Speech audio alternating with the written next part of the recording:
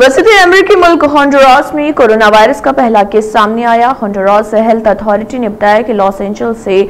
टॉनकोटन हवाई अड्डे पर उतरने वाली 48 साल खातून हाल ही में छुट्टी मनाने ताइवान गई थी औरत के अंदर खांसी और छींक की अलामत पाए गए थे इस वजह से दारकूमत तेगो सेगल्पा के एक खसूसी अस्पताल में भेज दिया गया जहाँ से और उसे निगरानी में रखा गया नायब वजी सेहत के मुताबिक अगर अड़तालीस घंटे के बाद टेस्ट का नतीजा बीमारी की तस्दीक करता है तो खातून को करंतना में रखकर उसका इलाज किया जाएगा